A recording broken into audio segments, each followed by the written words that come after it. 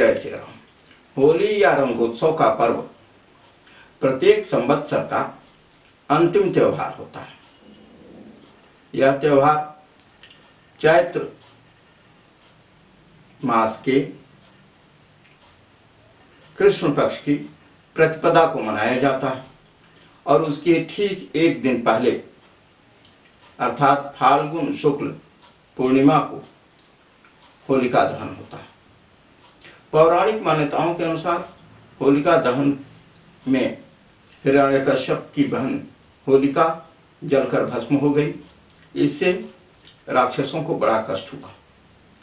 वे गालियाँ देने लगे, अपशब्द कहने लगे, धूल और कीचड़ उछालने लगे, नशाखोरी करने लगे। किंतु दूसरी ओर देवताओं को बड़ी प्रसन्नता हुई और वे गले मिलने लगे। एक दूसरे को मिठाइयाँ खिलाने लगे, रंग अबीर गुलाल उड़ाने लगे। आज भी यही चीज़ देखने को मिलती है। इस वर्ष की होली 21 मार्च गुरुवार को मनाई जाएगी। इस अवसर पर विभिन्न राशि के लोग अपने अपने राशि के अनुसार रंग अबीर गुलाल इत्यादि का प्रयोग करके लाभान्वित हो सकते हैं। जैसे मेष और वृश्चिक राशि के लोग गहरे लाल रंग के अबीर गुलाल का प्रयोग करें। वृष और तुला राशि के लोग श्वेत अर्थात सफ़ेद रंग के अबीर गुलाल या जल से होली खेलें। मिथुन और कन्या राशि के लोग हल्के हरे रंग से, कर्क राशि के लोग दूध या दूध के रंग से सिंह राशि के लोग गुलाबी अर्थात पिंक पिंक रंग से धनु और मीन के लोग हल्के पीले रंग के अबीर, गुलाल रंग आदि से होली खेलें तो उनके लिए शुभकारी होगा। और अंत में मकर और कुंभ राशि के लोग हल्के नीले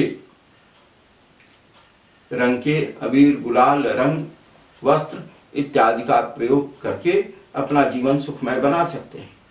रंगोत्सव के एक दिन पूर्व होलिका दहन होता है।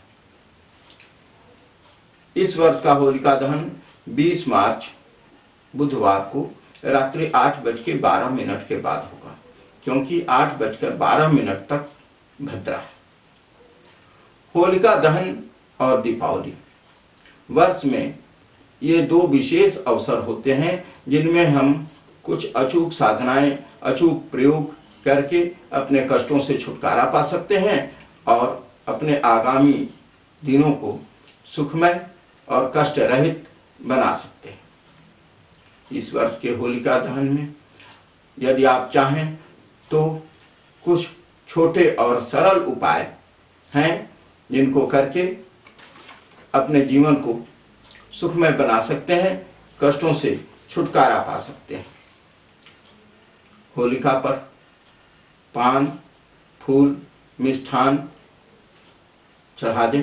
होलिका दहन के समय सवेरे जाएँ, भस्म ले आएँ और उस भस्म को लगाएँ तो वर्ष भर किसी के तांत्रिक प्रयोग से आपका कुछ नहीं बिगड़ेगा। ठीक इसी प्रकार खड़ा नमक, राई और लाल मिर्च अपने सिर से उतार कर जिस व्यक्ति से आप अपना बचाव करना चाहते हैं, उस व्यक्ति का नाम लेते हुए होलिका में डाल दें। तो फिर उस व्यक्ति का किया हुआ या कराया हुआ किसी भी प्रकार का अनिष्ट आपका कुछ नहीं बिगाड़ पाएगा।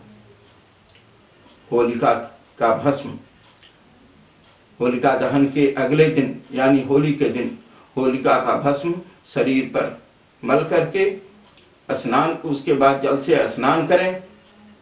तो राव और शनि कृत समस्त दोष और बाधाएँ दूर हो जाती हैं। होली के दिन भगवान श्री विष्णु की षोडशोपचार या पंचोपचार विधि से पूजन करें।